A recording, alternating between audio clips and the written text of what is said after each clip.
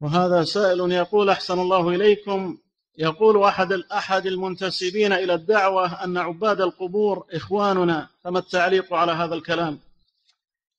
إذا كان يعبد القبور معهم فهم إخوانه أما إذا كان يعبد الله وحده لا شريك له فهو بريء منهم وليسوا إخوانه. إخوان الشياطين ما هم بإخوانه نعم.